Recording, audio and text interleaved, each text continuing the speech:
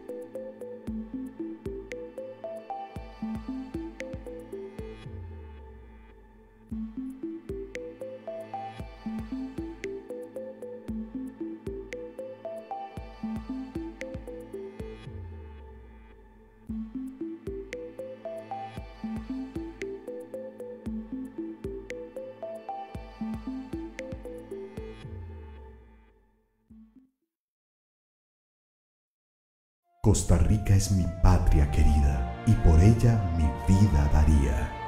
Somos el país que va a enseñarle al mundo cómo ganarle a la pandemia.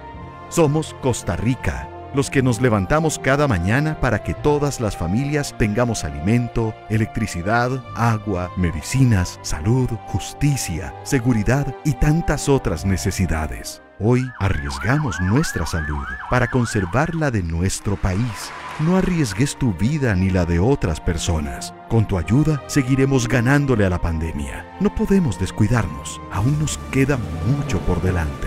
Quédate en casa cuidando a tu familia, mientras nosotros cuidamos todas las demás. Unite vos también a este gran equipo que estamos tocando corazones. Hacelo por la familia, hacelo por Costa Rica. Quedándonos en casa, cuidamos el pura vida.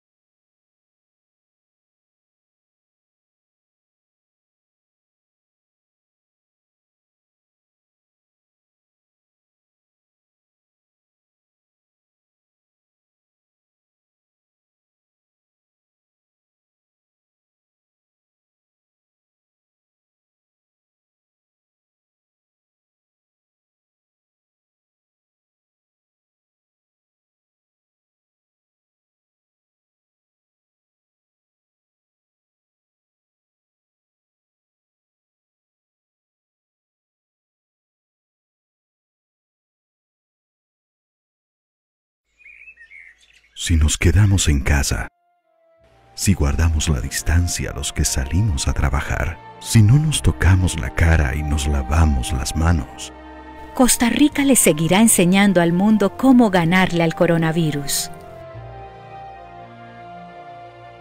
Somos el país que luchó para echar a William Walker. Luchó para acabar con el analfabetismo. Y llevó la salud a todos y todas. Somos Costa Rica el pueblo valiente que, sin ejército, sabe luchar para proteger lo nuestro. Hoy estamos jugándonos el segundo tiempo y nos falta mucho para ganar. Con tu ayuda seguiremos ganándole a la pandemia. No podemos descuidarnos, aún queda mucho partido por delante. Hoy le estamos enseñando al mundo lo que significa nuestro pura vida, tocando a las personas que queremos bien solo, con, el corazón. Unite al equipo que, cuidándonos desde nuestros hogares o guardando distancia en la calle y el trabajo, luchamos por nuestra patria, porque el coronavirus no conoce la fortaleza de este gran conjunto llamado Costa Rica. Hacelo por la familia. Hacelo por Costa Rica. Quedándonos en casa, cuidamos el pura vida.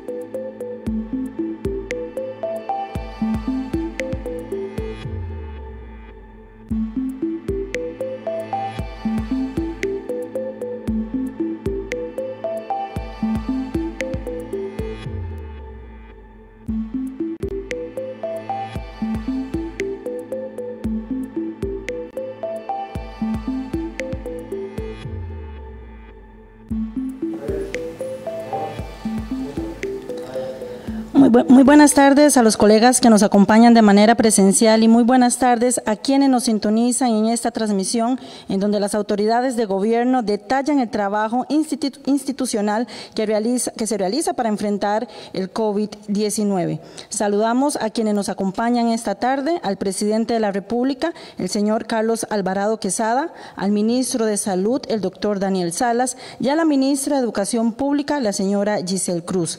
Cedemos el uso a la palabra al doctor Salas, quien detallará el reporte epidemiológico de este miércoles 8 de julio.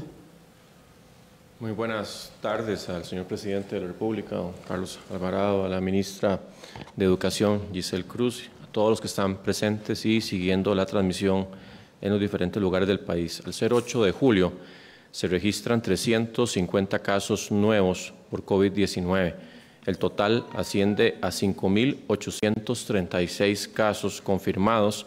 El rango de edad es desde los 0 hasta los 96 años. Tenemos 2.476 mujeres y 3.360 hombres. Tenemos también 4.130 costarricenses y 1.706 extranjeros. Tenemos casos positivos en 79 cantones 400, eh, 4.661 adultos, 276 personas mayores y 807 menores de edad. 92 se encuentran en investigación. Tenemos 1.929 personas que han logrado recuperación, están en 79 cantones, se suma Buenos Aires a la lista de cantones con casos recuperados. La cifra de fallecidos asciende a 24, sin embargo, de este último caso fallecido, al no tener confirmación de que se haya notificado a su familia, no vamos a dar el detalle de esta persona, sino hasta después de la conferencia cuando tengamos esa confirmación. Tenemos 113 personas que se encuentran hospitalizadas, 11 de ellas están en cuidados intensivos. El rango de edad de estas personas va desde los 49 hasta los 76 años y como habíamos indicado eh, el día de ayer y lo reforzamos ahora, los siete cantones con más casos en los últimos tres días que reportan más de 30 casos en esa sumatoria son San José, Desamparados, Alajuelita, Alajuela, Heredia, Tibás y Goicochea. A continuación, el presidente de la República, el señor Carlos Alvarado, dará algunos anuncios importantes. Escuchamos al presidente. Muy buenas tardes a todas las personas que siguen esta transmisión a los compañeros y compañeras de la prensa que nos acompañan, a la señora ministra de Educación, doña Giselle, y al señor ministro de Salud, don Daniel. Quisiera hacer tres, tres anuncios y un breve comentario. El primer anuncio es que luego de su intervención médica y del satisfactoria, eh, pero el tratamiento que debe llevar ahora adelante. Nuestra ahora exministra de Turismo, doña María Amalia Revelo, presentó su renuncia eh, para atender los temas de salud.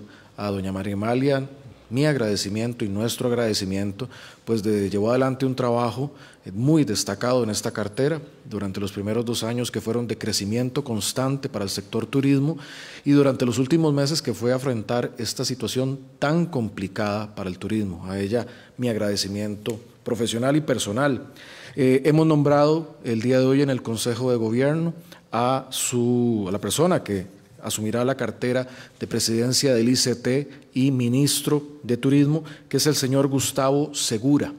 El señor Gustavo Segura es economista de la Universidad de Costa Rica y máster del INCAE. Él eh, en esta maestría también tiene una concentración en desarrollo sostenible. Él ha sido asesor y gerente de desarrollos turísticos como el Pacuare Lodge y el Lapa Ríos que es parte del National Geographic Lodge del mundo. También ha sido gerente de otros hoteles importantes como el Marriott Los Sueños o como Punta Islita. Ha participado en juntas directivas del sector como en la Cámara de Hoteleros y también fue miembro de eh, la Cámara del ICT, ha sido directivo del ICT, conoce la institución. Eh, como consultor ha asesorado a países como Perú y como Ecuador en el desarrollo de sus estrategias y sus productos turísticos. Don Gustavo Segura asume desde el día de hoy la cartera de turismo y eh, este mismo día está ya en reunión con el personal del ICT y sus principales responsabilidades versarán en este momento con la atención de la pandemia, con el cronograma que tenemos fijado para la apertura eh, en materia de aeropuertos, diferenciemos eso de fronteras terrestres, eso no está para apertura, sí tenemos un cronograma para aeropuertos, así como los temas bancarios y de financiamientos del sector turístico del país. En materia de albergues, quisiera hacer una breve mención. Cuando la Comisión de Emergencias ha contactado municipios para tener albergues, es para generar albergues en la comunidad para personas de la propia comunidad, para aislar a personas contagiadas de otras, para no contagiarlas. Es decir, los esfuerzos para hacer albergues en una comunidad son para proteger a las personas de la misma comunidad, tanto las personas contagiadas como las personas de estos cantones. Y esto lo subrayo también a petición que agradezco de muchos alcaldes y alcaldesas, porque cuando se habla de albergues muchas personas creen que es para traer a otras personas de fuera del país o de otros lugares, y ese no es el caso es para proteger a las mismas comunidades con sus personas. Ese es el esfuerzo que se lleva adelante. Y agradezco a los alcaldes pedir que me pidieran hacer esta aclaración porque es muy importante. Es muy importante para evitar malos entendidos. Eh, en unos segundos, la ministra de Educación detallará lo que se ha trabajado también en conjunto con el ministro de Salud en materia del curso lectivo. Ciertamente, por la situación actual de la pandemia, eh, la fecha de reanudación del curso lectivo se pospondrá, porque este, no hay las condiciones para reanudar y se pospondrá hasta septiembre, en las circunstancias que la ministra detalle. Sí decir que todos los esfuerzos educativos siguen adelante, es más del 97% de los educadores que se están capacitando virtualmente, ingresarán a capacitación también, se están haciendo todos los esfuerzos de digitalización y además de con materiales didácticos que los niños y las niñas y jóvenes de todo el país puedan seguir su proceso educativo. En ese esfuerzo no vamos a cegar, pero también debemos proteger a nuestros jóvenes, a nuestras niñas y niños eh, y a sus parientes eh, en este contexto de COVID-19. Doña Giselle profundizará sobre estos detalles. Finalmente quiero hacer un llamado a la responsabilidad nacional de todos los actores. Estamos en un contexto de pandemia, en un contexto donde como país tenemos que luchar unidos para superar esta ola y que no tengamos una saturación de nuestros servicios de salud y que salgamos adelante. Y tengo la confianza de que lo podemos hacer. El país es dichosamente un país libre y democrático. Y queremos que siga siendo así. Y dichosamente, bendecidamente, un país donde se puede hacer la crítica de manera libre y ojalá constructiva. Pero también veo un país que se dispersa entre discusiones de pañoletas, un país que entra en discusiones que nada le construyen a, nuestro, a nuestra circunstancia. Veo también un adelanto de la campaña política donde quienes a veces opinan, no sé si lo hacen para construir país o para construir imagen. Estamos en una pandemia y hay vidas de por medio. Habrá un tiempo para hacer política, también porque somos un país democrático. Veo muchas personas muy responsables de la política, diputados, diputadas, expresidentes, analistas, exministros, contribuyendo con ideas y sana crítica. Y veo mucha gente queriendo hacer vitrina. Sé que las y los costarricenses saben diferenciar, pero mi llamado hoy es a la responsabilidad que tenemos todas y todos con nuestro país. Yo veo a mi equipo trabajando día y noche, pero no metidos en eso. Todas y todos debemos empujar hacia que el país esté bien, con responsabilidad. Vienen tiempos complicados, los estamos experimentando, esto no se va a ir en las próximas semanas, tenemos meses por delante de convivir con la pandemia, con la danza del martillo, convivir con ella. Entonces debemos que hacerlo con responsabilidad y patriotismo.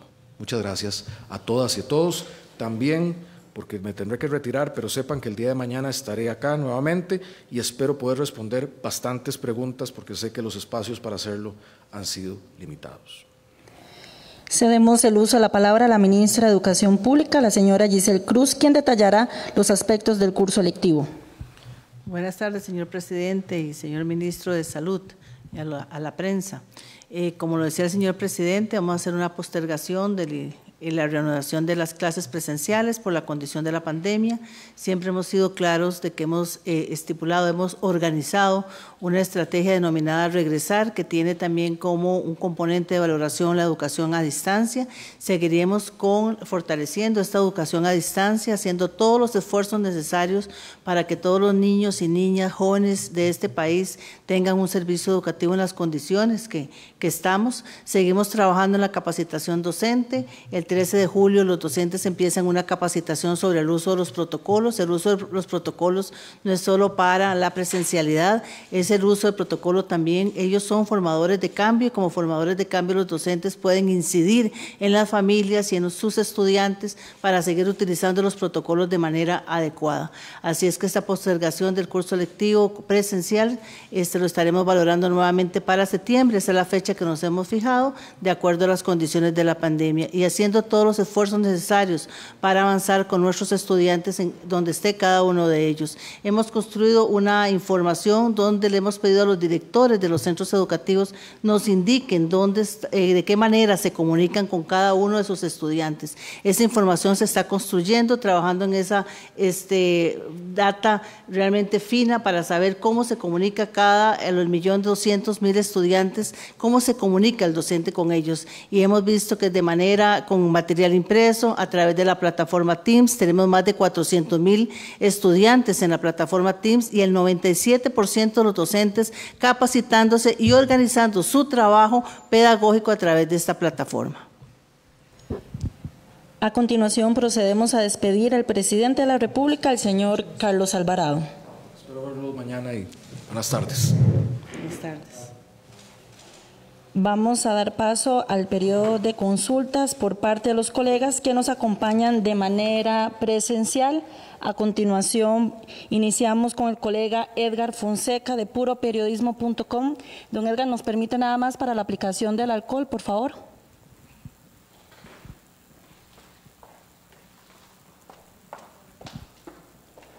Buenas tardes, señora ministra. Buenas tardes, señor ministro. Doña Giselle, de lo que usted acaba de informar, eh, se está postergando con miras a septiembre el reinicio del curso lectivo. Pero está también planteada la posibilidad de la suspensión de este. Esa es mi pregunta para usted. y una adicional en cuanto al uso de los centros educativos como posibles albergues de pacientes COVID que se está planteando en algunas localidades del país. Don Daniel, para usted, de la información que usted eh, suministró hace dos días en cuanto a proyecciones de casos nuevos de aquí al final de agosto y el escenario mejor o peor que puede enfrentar el país, ustedes también tienen en consideración, en valoración, la posible proyección de víctimas mortales al ritmo de, gravedad de contagios que se está notando en este momento en el país. Y una consulta adicional, don Daniel, en cuanto al programa humanitario con la ONU, que empezó semanas atrás, ¿cuál ha sido el alcance hasta el momento? y si está implicando en algún momento por parte de la ONU la recepción de inmigrantes desde diferentes sectores fronterizos, sea del norte o del sur. Muchas gracias. Iniciamos con el ministro de Salud, el doctor Daniel Salas. Gracias, don Edgar, por su pregunta. Eh, con respecto a la información, respecto al número de proyecciones de los posibles fallecidos que habrían eh, en realidad pues existen estimaciones. Esas estimaciones eh, son igual bastante variables dependiendo del escenario. Recordemos que eso va a depender mucho de, las, de los factores de riesgo de las personas que más se van afectando, de la oportunidad con que vayan a consultar a los servicios de salud, que se les pueda dar un abordaje más oportuno y eso pues en realidad hace que las proyecciones con fallecidos pues sean justamente eh, tal vez de las más inciertas con respecto a los datos que hemos ido brindando. Lo que es claro es que entre más personas tengamos en cuidados intensivos, hospitalización general, que también pues podría eventualmente ya significar más cuidados intensivos, pero directamente en cuidados intensivos sabemos que hay un porcentaje que lamentablemente no van a lograr superar esa esa condición de cuidados críticos y que va a fallecer. Entonces aquí en realidad pues nos debatimos entre tener eventualmente de aquí a la proyección menos eh, de 100 fallecimientos. No quiero precisar el número o pueden ser bastante más de 100 fallecimientos. En, no estamos hablando al final de la pandemia, sino a la proyección que presentamos que abarca sobre todo dos meses y un poquito más. Eh, pero como le digo, eso es muy variable. O sea, puede ser que de las personas que se afecten sean muchos con factores de riesgo que no consultaron a tiempo y que eso vaya a representar una cantidad muy elevada de fallecimientos. Eso va a depender mucho justamente de las circunstancias. Es imposible decir las personas que se van a afectar con mayor eh, fuerza en las siguientes semanas van a ser personas mayoritariamente con factores de riesgo. Sin embargo, como indico, aquí todo juega y entre más personas infecten, van a haber más personas con factores de riesgo que pueden terminar en cuidados intensivos y eventualmente eso los pone en una situación más delicada en torno a un posible no eh, ¿verdad? salir oportunamente. Eso sabemos que eso ocurre y así es como ha ocurrido en la mayoría de los casos. Y con respecto al programa humanitario, yo en realidad ahí pues sí le pediría que por favor, eh, como esto lo ha estado manejando Cancillería, no quisiera yo irrumpir en ese tema que en realidad ellos lo han manejado toda la parte de relaciones, de qué se está haciendo y qué no. Entonces en realidad yo más bien le pediría por favor que se refiera a Cancillería para evacuar esa duda de la forma más respetuosa. Muchas gracias. Voy a empezar con la segunda pregunta. El Ministerio de Educación Pública y la Comisión Nacional de Emergencias eh, conformamos un protocolo para cuando se establece el procedimiento para habilitar centros educativos como albergues, como bien lo decía el señor presidente, en la misma comunidad. En este sentido, eh, hicimos el protocolo para el control y el seguimiento de las posibilidades de habilitación de centros educativos. Estamos en una condición de salubridad, una condición de pandemia. El Ministerio de Educación Pública siempre ha sido solidario en esta y además la ley nos convoca a ser solidarios en ese sentido con la infraestructura pública, sobre todo con la infraestructura de los centros educativos.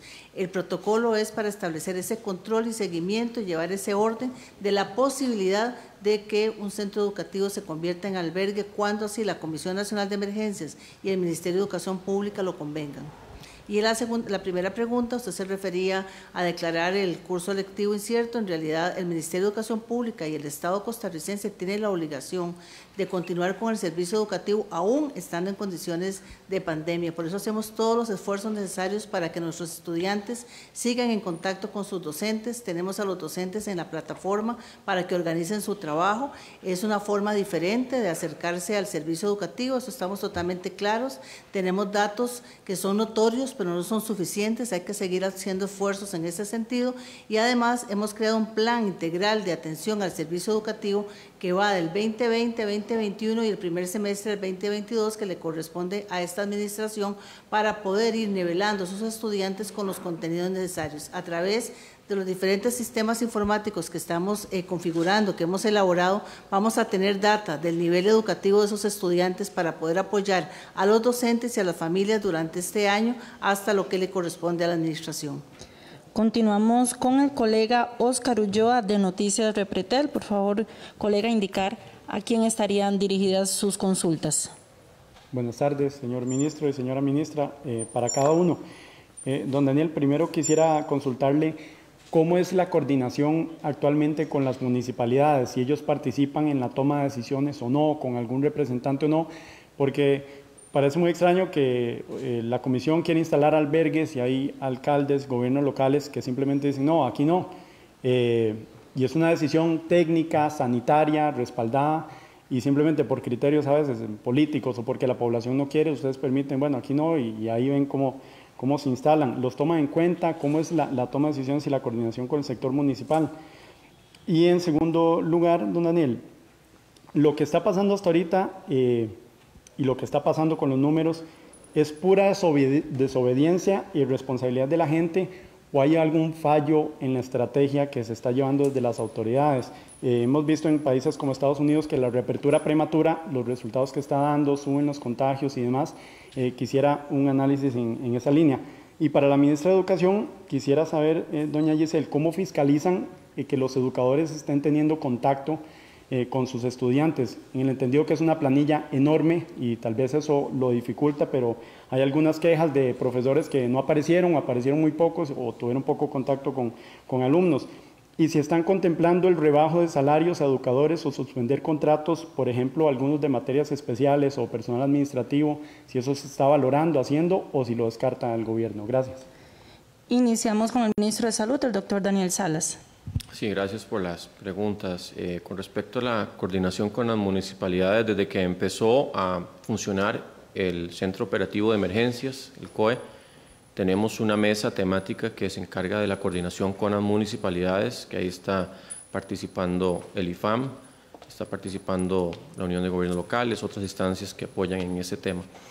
Y ahí se hace justamente esa coordinación local. Recordemos, las municipalidades pues obviamente tienen autonomía pero sí yo quiero eh, reiterar, o sea, si yo tuviera que calificar municipalidades en la escala de preparación para contener la posibilidad de transmisión comunitaria y no tienen la previsión de un albergue para hacer los aislamientos en el momento oportuno, en realidad tienen puntos menos. O sea, son municipalidades que están con puntos menos con respecto a eh, la preparación.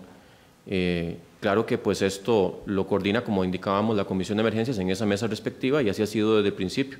Pero pues claro que existen eventualmente posiciones por, esa autonomía también que existe de las municipalidades. Que ahí también está la NAI, la, Asociación Nacional de Alcaldías y Intendencias y además de la Unión de Gobiernos Locales. En esa mesa que, como le digo, ha estado funcionando desde el inicio de la pandemia y nos ha permitido también coordinar muchos de los aciertos que hemos tenido en los diferentes cantones.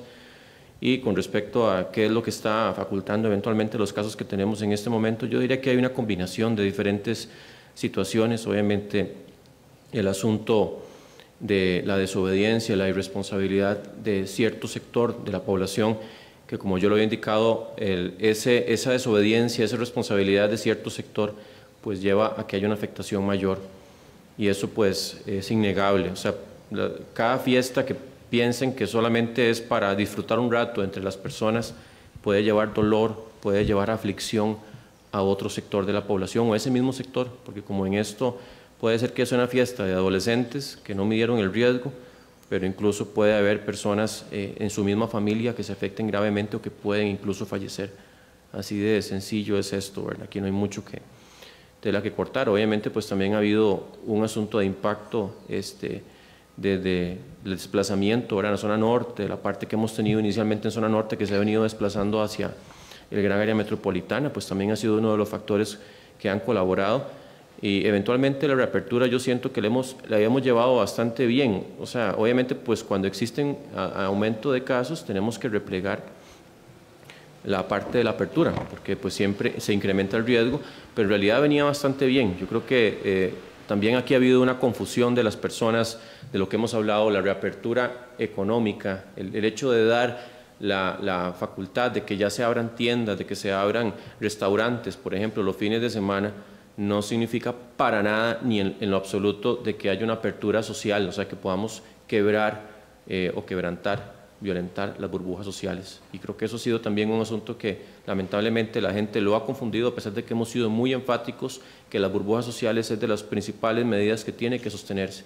No se trata de romper burbujas sociales el hecho de hacer apertura económica. Sobre la estrategia, no ha fallado, don Daniel, disculpe.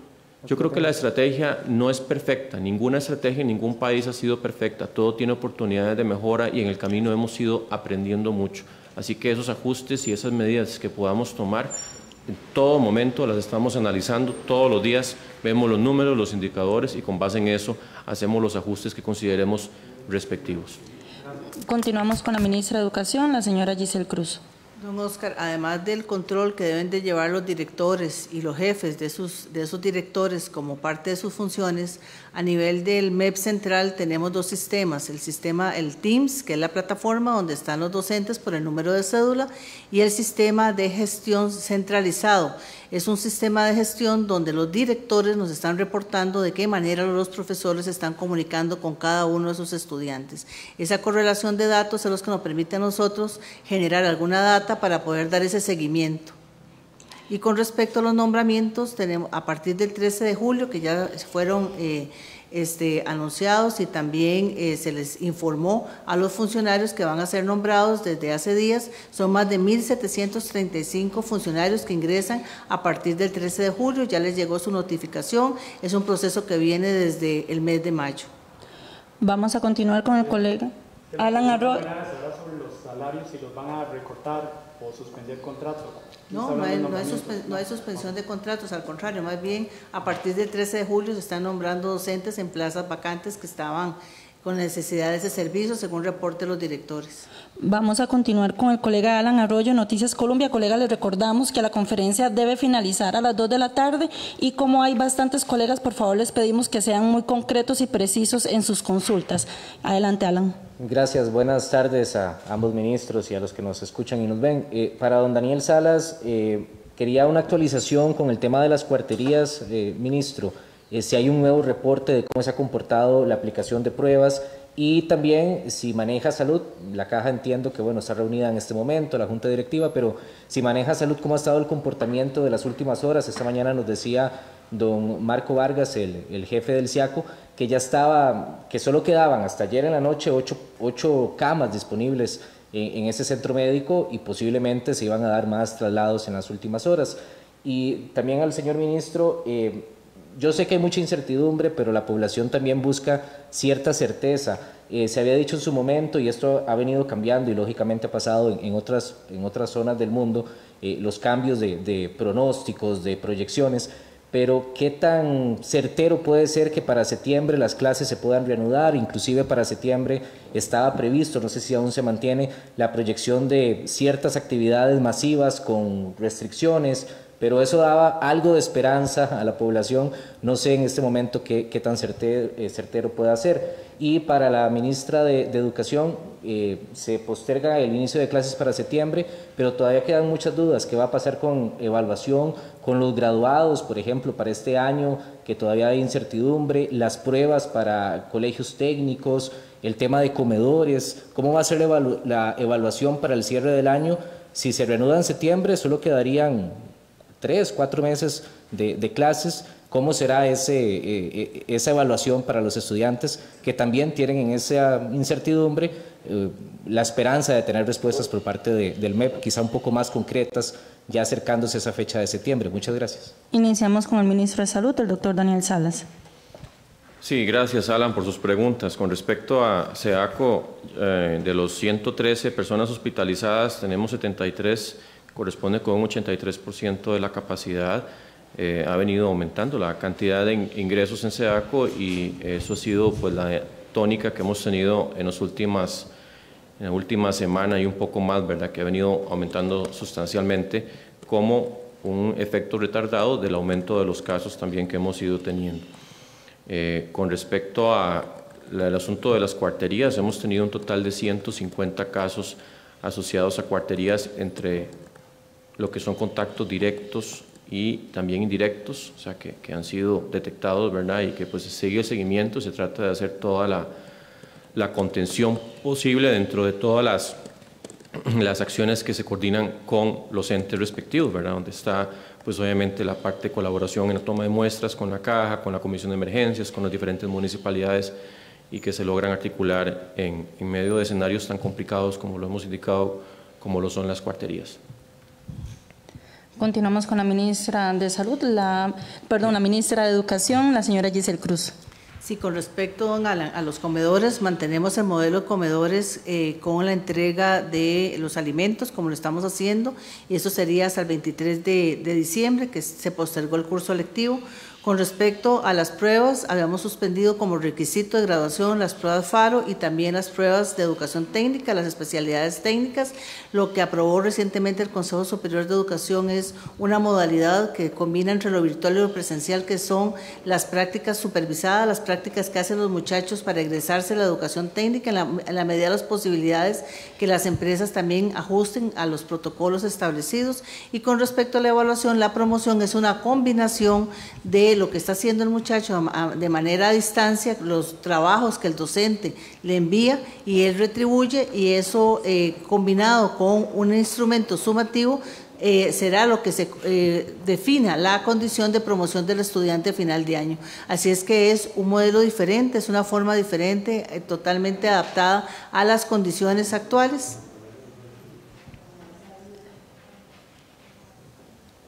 Continuamos con Pablo Campos del Telediario.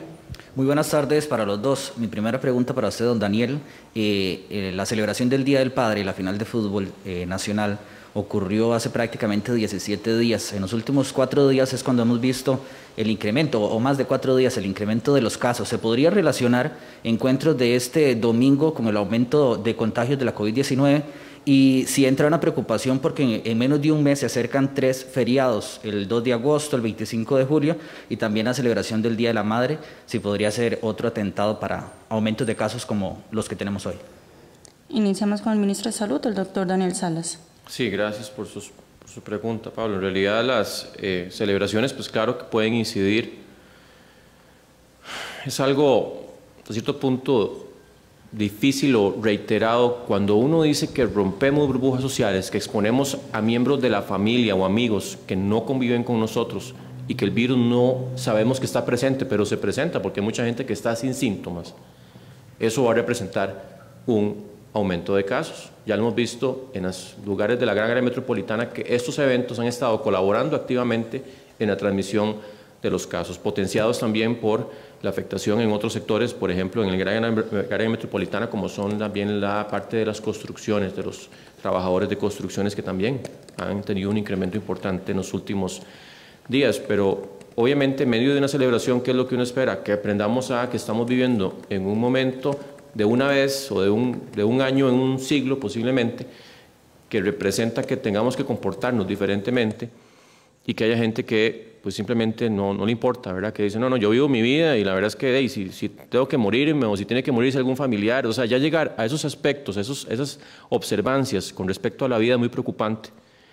Y yo, la verdad, pues lo que les puedo decir es, en medio de estas celebraciones que son, han sido siempre y serán tan importantes, donde le hacemos un agasajo, una celebración a nuestro padre, a nuestra madre, eventualmente otras celebraciones, en medio de un año que es diferente, pensar que podemos hacer lo mismo de siempre, o que podemos hacerlo modificado, pero que siempre significa un riesgo incrementado, de, ya es un asunto, como le digo, que a esa por, es una pequeña porción de la población, es un porcentaje pequeño que tiende a violentar esas burbujas sociales, pero decirles que lamentablemente por una visita hemos visto pacientes, una visita de un familiar que pensó que no iba a pasar nada, se fue a visitar a, otro, a otra persona que no la ve siempre y la infectó y esa persona terminó en una unidad de cuidados intensivos y lamentablemente falleció. Y así se pueden dar varios casos y se van a seguir dando.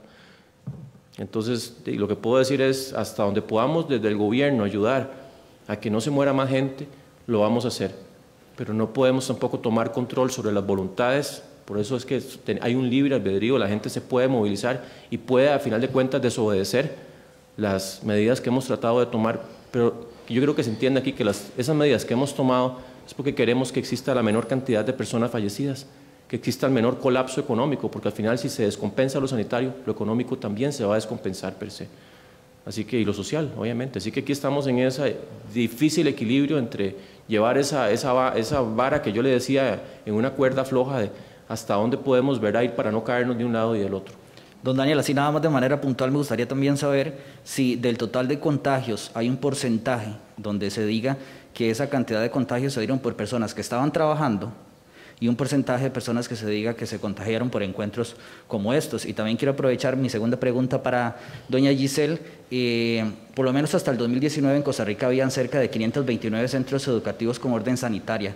Ustedes han aprovechado todo este tiempo en el que no hay estudiantes en las eh, escuelas y colegios para reducir esa cantidad, o sea, acelerar los trabajos y evitar que eh, haya tanto centro educativo con orden sanitaria. Ministro de Salud.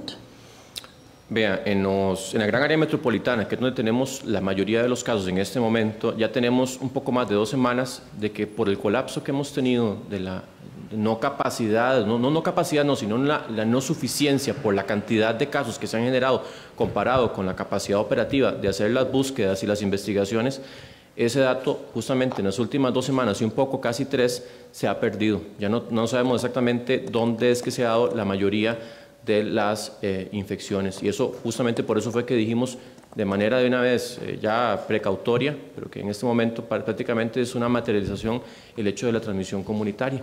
Con la transmisión comunitaria se pierde esa capacidad de trazabilidad y de saber exactamente dónde ocurrió el contagio.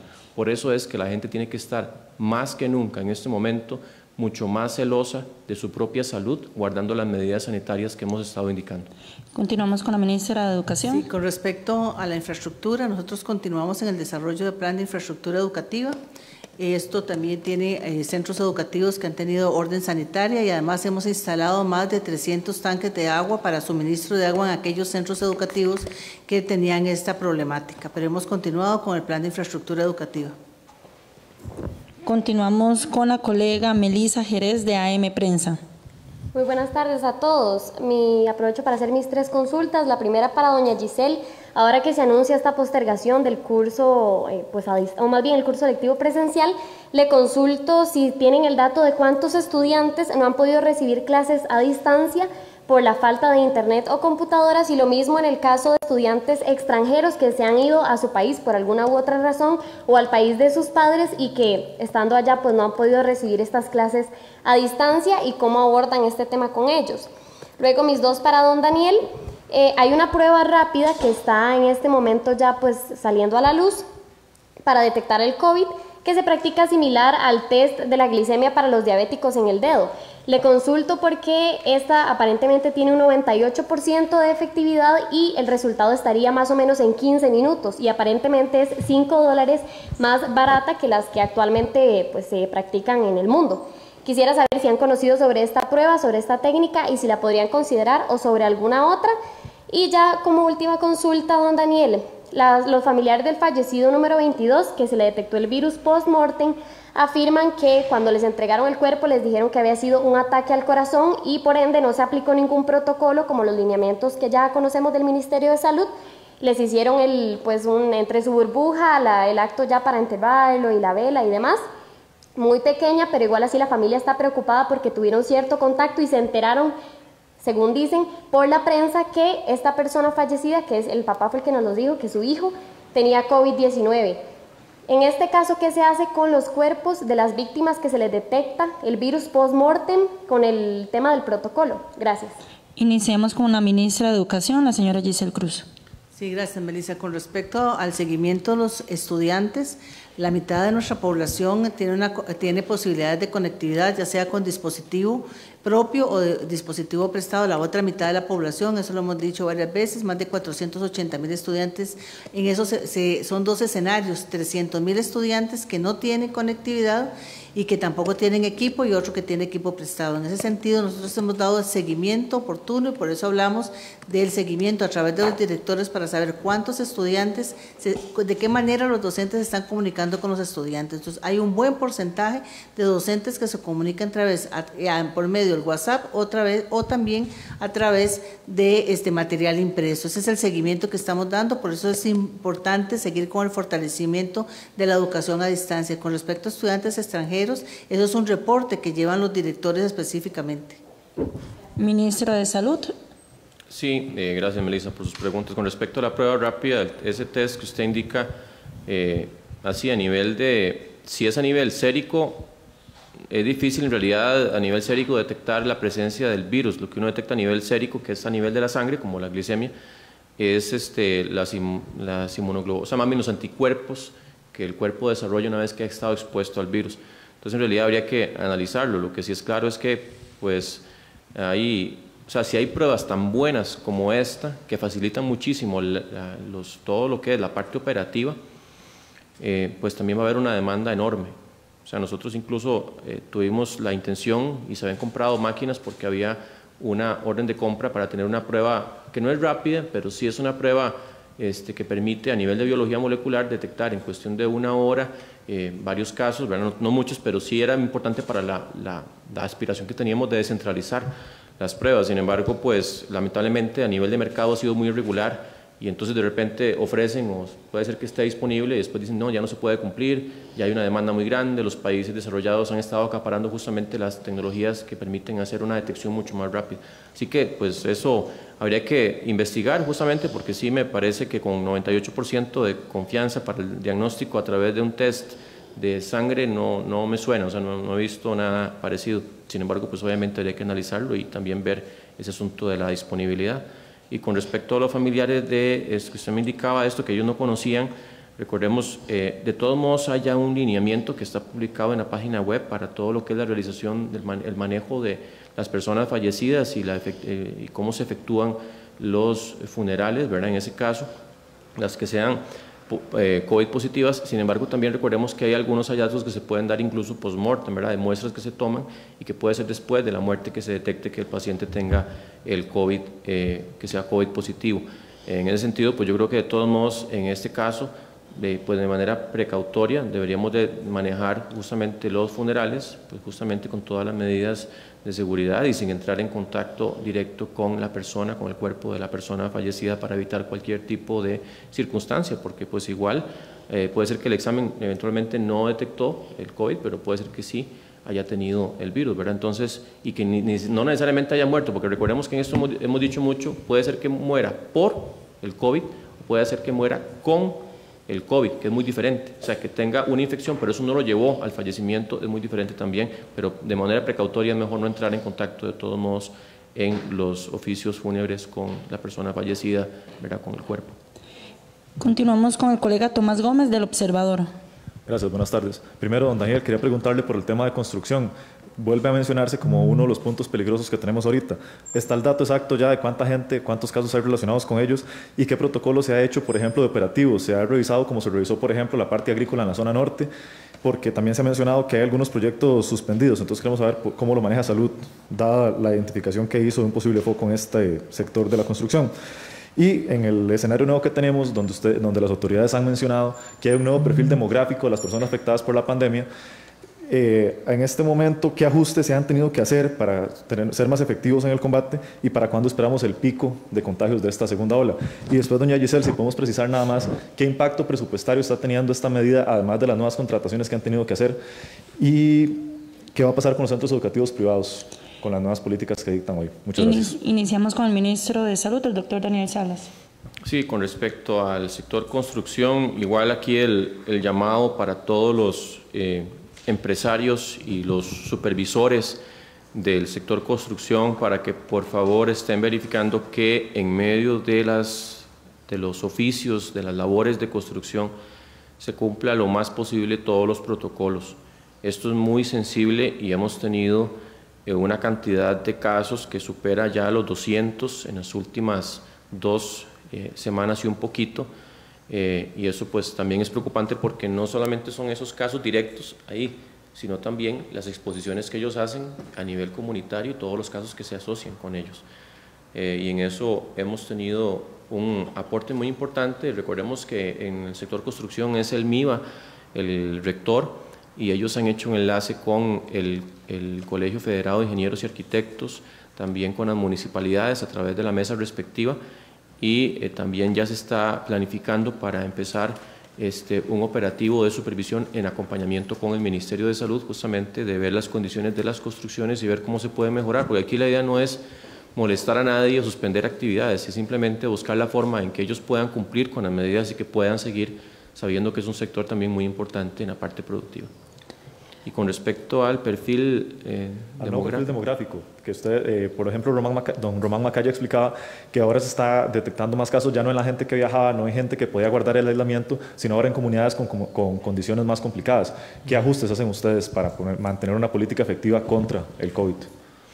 Bueno, en eso pues uno trata de diversificar eh, la parte de comunicación, la parte de las medidas de vigilancia, de captación de los casos, Eventualmente las alertas nos ayudan mucho también a tratar de minimizar los contactos, pero insisto en que aquí hay una parte de comportamiento que se escapa de, todo eso. O sea, nosotros tratamos de hacer lo posible para influir y eventualmente modificar el comportamiento, pero insisto en que eh, eventualmente en medio de esta segunda ola, si hemos tenido, pues, por lo que ustedes quieran llamarlo, que la gente está cansada, puede ser, que es gente que no le importa, puede ser que hay gente que simplemente no mide el riesgo, piensan que a ellos no les va a pasar nada, pues puede ser también, pero eh, definitivamente el hecho de que estos comportamientos inadecuados se estén incrementando últimamente y de acuerdo a ese perfil justamente que usted indica, nos preocupa y es algo de lo que yo siento que la población tiene que tratar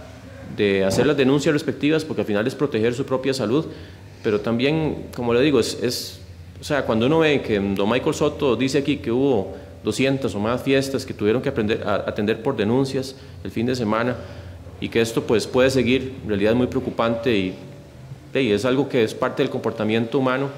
Tal vez es entender eso, que estamos en un año totalmente atípico, un año de pandemia, un año de una vez en un siglo, como yo indicaba, y, es, es lamentable, ¿verdad?, que no, no podamos comprender el impacto que tiene esta situación tan delicada y que al final pueden haber mucha gente que se puede salvar y que no se puede y que, y que si no, no reaccionamos, como yo le decía anteriormente, esa gente no se va a salvar, hay gente que no va a tener la oportunidad de tener esa unidad de cuidados intensivos. Continuamos con la ministra de Educación. Y sobre el pico, aproximado una fecha para el ah, pico de esta segunda pandemia. Recordemos que en las medidas que habíamos proyectado habían dos escenarios, uno con medidas y otro sin medidas. Eh, eso sin medidas es sin que la gente acate o a la gente acatando en su mayoría, porque sabemos que siempre pues, va a haber lamentablemente algunos que no van a acatar. Entonces, si existe un buen acatamiento en general, en realidad podríamos hablar que en unas dos, tres semanas ya podríamos tener un máximo de casos eh, activos, pero si la gente no acata y todo, esto va a seguir exponencialmente creciendo, no exponencialmente, pero sí sostenidamente creciendo hasta que alcancemos en posiblemente principios de octubre una cantidad mayor de casos, ¿verdad? Entonces ahí estamos debatiéndonos entre qué tanto la gente quiere colaborar en general, ¿verdad? Yo insisto, hay que reconocer que la mayoría de la gente está, pero un porcentaje menor de la gente que no colabora, al final afecta a ese otro porcentaje mayoritario que sí está colaborando y que está muy consciente que esto vamos a lograr lo que vamos a pasar, pero que depende cómo nos comportemos, así va a ser el balance cuando eso termine. Ministra de Educación. Sí, don Tomás, con respecto a, la diferencia de público y privado, la resolución que firmamos el señor ministro de Salud y yo corresponde, no hace diferencia entre lo público y lo privado. Es una condición de pandemia, no hay condiciones diferentes para otros en este sentido. Y con respecto al impacto, el impacto es en todos los niveles, el sector educativo no escapa de esto y por eso tenemos que hacer todos los esfuerzos necesarios para que ningún estudiante se quede atrás. Por eso el plan de trabajo de seguimiento al servicio educativo va hasta el primer semestre de 2022 para que, recuperar todos estos estudiantes que hicieron la matrícula en el inicio del curso lectivo 2020. Colegas, por favor, recordar ser más puntuales con sus consultas, puesto que ya casi van a ser las dos y tenemos que finalizar la conferencia. Continuamos con Juan Diego Córdoba de La Nación. Buenas tardes, doña Giselle, don Daniel. Eh, don Daniel, una pregunta muy concisa. Este, esta postergación del curso de, las clases presenciales del curso lectivo se recomienda también para eh, centros educativos privados y también para universidades.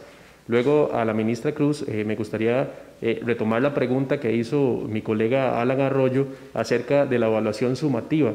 Tal vez si puede especificar eh, muy bien cómo se va a desarrollar esa evaluación para ver la nota final de los estudiantes al final del ciclo lectivo. También me gustaría preguntarle otro, otra pregunta que tengo al respecto de ese rezago que tienen los estudiantes de las escuelas y colegios públicos en los últimos tres años los últimos dos a raíz de las huelgas este, y este evidentemente a raíz de la suspensión de las clases presenciales de, este año, de este curso lectivo. Eh, eso evidentemente este, hace una brecha muy grande con estudiantes de centros educativos privados. ¿Cómo ustedes van a tratar de reducir esa brecha en los próximos eh, tres años, si no me equivoco? Eh, mencionado usted hasta el año 2023, 2022. Este, y también pensando mucho en aquellos jóvenes que ya van saliendo del colegio rumbo a las universidades. Si ustedes están este, coordinando con las universidades públicas o universidades privadas para hacer eh, ese balance, ¿verdad?, a raíz de este rezago importante que tienen los estudiantes. Muchas gracias. Ministro de Salud. Sí, con respecto a este asunto que usted pregunta, don Juan Diego, de la postergación del curso lectivo también para privados universidades, todo lo que pueda hacer vía virtual sin presencia en este momento es lo más indicado. Eso lo digo porque la presencia en realidad pues, lleva un riesgo incrementado y si es algo que se puede manejar de otra forma, todos los trámites virtuales o, clases virtuales o lo que usted quiera virtual, es en este momento lo más indicado.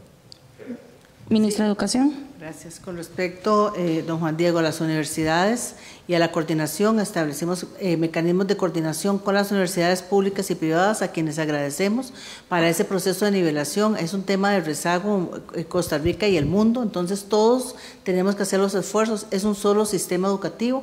Hemos conversado con las universidades públicas y privadas para atender la población de nuevo ingreso, que tiene un perfil diferenciado, como usted lo mencionaba, con respecto a los de otros momentos. hay que tomar las medidas ahí responsablemente, tanto este, la universidad pública como la privada. Con respecto al rezago, la diferencia entre la huelga y ahora es que ahora contamos con los docentes, los docentes están haciendo sus mayores esfuerzos en ese sentido y para eso está la estrategia que es hasta el primer semestre del 22 para darle seguimiento a esos contenidos base que hemos definido y que el estudiante pueda ir haciendo esa nivelación, pero rezago va a haber, este, el impacto es grande en ese sentido porque este, tener las clases, no tener las clases presenciales y no estábamos preparados para la virtualidad ni en lo público ni en lo privado, no teníamos un sistema educativo eh, que conozca yo en el sector que sea totalmente virtual, ¿verdad? salvo los estudios de posgrado que se hacen y demás, pero en eso hay que hacer todos los esfuerzos. Entonces aquí yo no haría diferencia entre lo público y lo privado. La diferencia la, la veo en la posibilidad de llegar a cada uno de los estudiantes con el servicio educativo de la mejor forma que se pueda en este contexto de la pandemia. Eh, y con respecto a la evaluación, la otra pregunta suya, la pregunta, eh, la respuesta es, es un tema muy técnico, entonces voy a tratar de explicárselo de una manera este, eh, sencilla. para promover este año los estudiantes va a haber una combinación de lo que el docente le envía a las casas a los estudiantes o lo hacen a través de la virtualidad, o sea, responder a esos trabajos que el docente envía, eso combinado con una, eh, un instrumento sumativo. ¿Y por qué un instrumento sumativo? Pueden ser varios, porque hay diferentes asignaturas que tienen diferentes enfoques. Entonces, por ejemplo, educación física, ¿cómo hacemos esa? Entonces, esa combinación del trabajo que envía el docente, lo, lo devuelve el estudiante, más un instrumento es lo que define la promoción del estudiante al final. Esto es una promoción donde se indica el nivel de desempeño, dónde quedó cada estudiante de este país para poder avanzar al nivel siguiente. El estudiante que no tiene la condición para avanzar se le da una posibilidad en febrero, lo que llamamos una estrategia de promoción. Y hay que seguir acompañando a estos estudiantes porque el universo es muy heterogéneo. Entonces hay que este, desarrollar todas las estrategias posibles, como la alerta temprana, para poder ir apoyando a los docentes y a los estudiantes y a los docentes para que logren eh, nivelar en esos contenidos.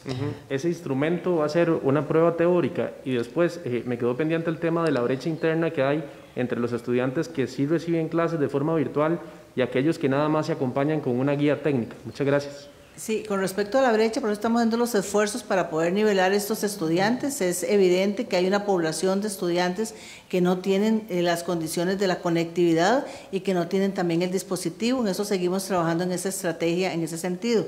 Y la otra pregunta es, la evaluación es una combinación de los dos elementos, del elemento este, del trabajo que hace el docente y el, y el instrumento que aplique el docente para poder determinar esa valoración final. Rita Valverde, de CR Noticias, por favor, muy concreto, Rita. Buenas tardes, eh, señora ministra y señor ministro. La pregunta es para usted, don Daniel. Eh, ustedes bueno, usted había notificado acá que había un retraso para eh, el personal que tenían para notificar a las personas contagiadas debido a la gran cantidad o el aumento que ha habido en estos días. Quisiera saber a hoy de cuánto es ese retraso, cuántas personas no han sido notificadas y entiendo que para la orden sanitaria se notifica por medio de un correo electrónico. Cuando las personas no tienen el correo electrónico, se hace presencial, entiendo. Y si están pensando o valorando contratar más personal para eh, llenar este vacío. Iniciamos con el ministro de Salud. Gracias, Rita, por su pregunta. Eh, con respecto a esto del retraso, en realidad el retraso más importante se da sobre todo en la investigación y en la obtención de los casos. También ha habido algún retraso en la notificación de las órdenes sanitarias. Cuando nosotros hemos dicho que también aquí tiene que haber una colaboración de la población en todo sentido, cuando a alguien se le toma una muestra porque ya es sospechoso, lo que uno espera es que esa persona se autorrecluya hasta que efectivamente, eh, incluso si está con síntomas, no debería, porque le dicen que es negativo, sabiendo que puede ser que después salga positivo, y si es por otro virus no debería estar exponiendo a la población. Entonces es importante que esa persona se autorrecluya. Pero aquí, eh, de parte de las estrategias que hemos estado siguiendo ante este retraso, que pues obviamente se ha venido incrementando, eh, es tratar de reacomodar todavía más las funciones de las áreas rectoras, mm, sacándole el máximo provecho a todo lo que es la readecuación. Hemos estado buscando también algún apoyo en lo que es desde el momento que se toma la muestra, que eso lo hace la Caja Costarricense de Seguro Social, buscar algún, alguna forma de que esa orden sanitaria se pueda emitir desde ese mismo momento para ser más ágil en el caso de, las, de los que son ya muestreados, porque sabemos que aquí recordemos que lo que representa el reto más grande son los contactos cercanos de las personas que son sospechosas o positivas y que esos contactos cercanos rondan entre 5, 10, 15 o más personas dependiendo de pues, la movilización que tenga el sospechoso o el positivo. Y así que eso pues es un reto enorme también hemos estado viendo eventualmente con la Comisión de Emergencias algún tipo de eventual de contratación para apoyar en esto. Y hemos estado buscando otros mecanismos que pues en realidad no quisiera en este momento decirlos porque hasta que no se concreten es mejor no indicarlos, pero hemos estado dándole vueltas al asunto de cómo podemos manejar, sobre todo en las áreas rectoras que representan, que ya hemos dicho, los cantones que tienen más carga en estos últimos días, que son las que verdaderamente ha habido un colapso más importante. Don Daniel, ¿por qué no se está contemplando... Eh eh, sumar personal, debido a que pues esto es una notificación importante para que la gente contenga y no contagie a nadie más. Y la otra es si podemos tener el dato eh, de cuántas personas no han sido eh, notificadas hasta hoy, de cuál es el retraso. Sí, como le indicaba, nosotros la contratación de eventuales no es un mecanismo que esté normalmente amparado dentro de la, del Ministerio de Salud. Lo que sí es cierto es que hemos venido trabajando con la Comisión de Emergencias justamente con ese apoyo, de que ellos nos ayuden a contratar personal que pueda reforzar a las áreas. Eso ya viene avanzando, porque tampoco es que se pueda hacer tan rápido, pero ya viene avanzando. Eh, pero se ha hecho en la caja, tal vez se ha sumado más personal, porque no se puede. Con la caja lo que estamos trabajando es esto, que explorando ese mecanismo de que ya va avanzado, de cómo la caja puede ayudarnos por, solamente con el, bueno, que es un porcentaje bastante grande, pero, pero no es la mayoría. La mayoría siempre va a seguir siendo responsabilidad del ministerio porque los contactos eh, cercanos no consultan en los servicios de salud. Eso el Ministerio de Salud tiene que ir a buscarlos, que usted dice también puede ser por correo electrónico, es cierto, pero si el correo electrónico no ha sido validado por la persona, pues hay que buscar siempre la forma presencial de hacer la notificación. Pero en realidad en las últimas dos semanas aproximadamente un 60% de los casos no se han notificado oportunamente. No es que no se notifican, pero no se notifican con el tiempo que uno quisiera. Quisiera que se haga, pero insisto en que al final vuelvo a llamar a la voluntad de las personas, o sea que usted se le tomó una muestra, no espere la orden sanitaria para quedarse haciendo cuarentena. Eso es un asunto de, eh, de solidaridad, como hablábamos, de que no ande al supermercado o a la farmacia, donde sea, sino que sea otra persona que le ayude y, que no es porque no le haya notificado la orden sanitaria que lo tome como excusa para ir a, a, lugares públicos a eventualmente contagiar a otras personas. Continuamos con Adrián Fallas de Noticias CRC. Por favor, colegas, ser bastante concreto, que ya estamos excediendo el tiempo que los jerarcas pueden estar acá. Buenas tardes. Eh, para don Daniel, si me puede dar una posición con respecto al Ministerio de Salud sobre la transmisión aérea, de lo que dijo la Organización Mundial de la Salud, de que hay una evidencia emergente, si esto cambia algún protocolo, sobre todo en espacios cerrados. Y también, este, si me podría eh, dar también una posición sobre, eh, si ustedes, para determinar si hay una relación directa entre el incremento de casos de COVID-19 en la GAM con el ingreso, el ingreso ilegal de inmigrantes por la frontera norte. Eh, y para la ministra de Educación, sí, con este traslado hasta septiembre de un posible regreso a clases, eh, si las medidas de gradualidad de las que habían hablado anteriormente, sobre este, que los niveles más altos ingresarían primero, sobre horarios diferenciados, se mantendrían para septiembre. Gracias. Ministro de Salud. Gracias, Arián, por sus preguntas. Con respecto a la transmisión aérea, ya hemos hecho obligatorio el uso de mascarillas prácticamente en todos los espacios públicos cerrados.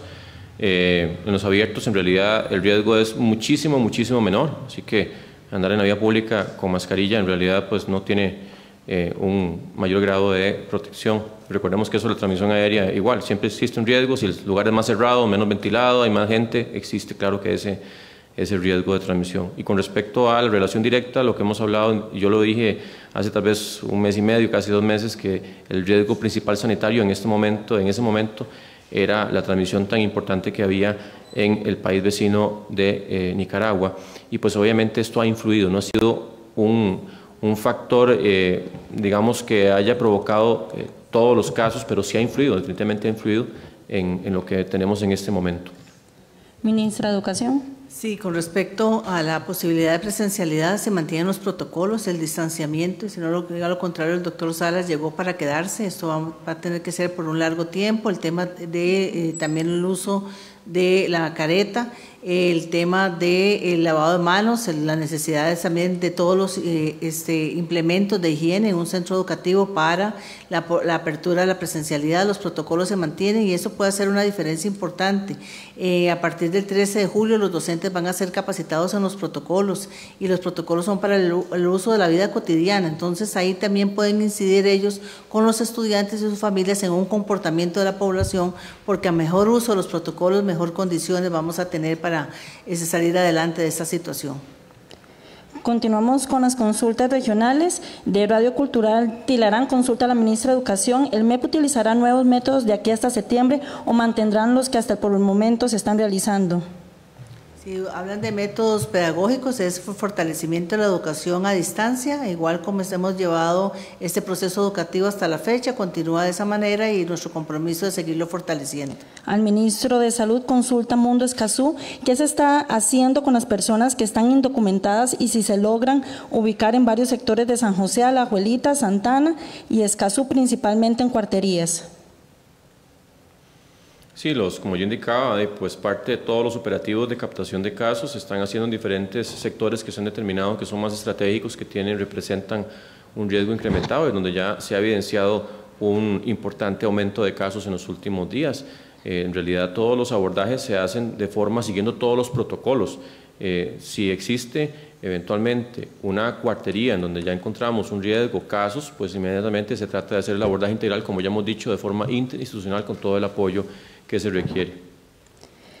Damos por concluida esta conferencia de prensa. Agradecemos la participación del ministro de Salud, el doctor Daniel Salas, y de la ministra de Educación Pública, la señora Giselle Cruz. A la población les recomendamos eh, conectarse al Facebook Live, que en pocos minutos va a tener el presidente de la República junto a la ministra de Educación. En este conversatorio van a estar aclarando dudas sobre la postergación de las lecciones presenciales de curso electivo. Los esperamos mañana con una nueva actualización. Muy buenas tardes.